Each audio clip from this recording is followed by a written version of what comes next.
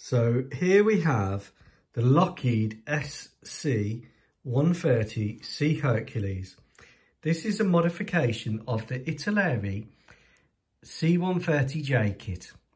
I've used the Brengun slash Attack Squadron resin C-130J engines because the Italeri kit has undersized engines.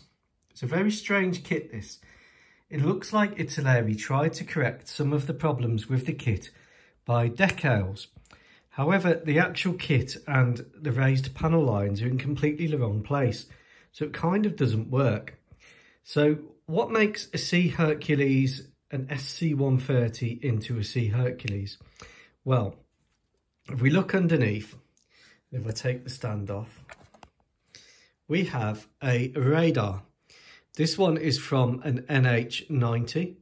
Other radars are available, but the Sea Hercules is designed as a low-cost, long-range, low-level maritime patrol aircraft. It was suggested as a contender for various maritime patrol aircraft programs, but they all seem to go to the P-8 Poseidon. Strange that. Lockheed kicked up because uh, they didn't get any of the contracts. Has a forward-looking infrared.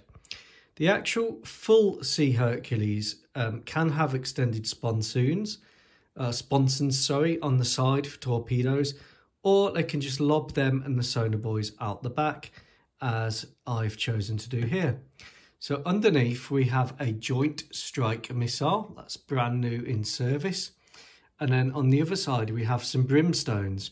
So the brimstones will deal with um, sort of small attack craft, small ships, and also land attack. And the JSM will deal with uh, larger ships. It's a good anti-ship um, missile. Um, we have, uh, I've added some chaff and flares from uh, Rafael Extra Transfers. I've added the directed infrared countermeasures system there. I've added a, a MAD or magnetic anomaly detector boom from a Viking, an S3 Viking kit, which I have. Um, and there we go. And I've finished it with the Totodile Squadron markings. And it's on a Butler's printed model stand with 8mm wide by 2mm magnets. So there we go. The Lockheed SC-130 Sea Hercules fully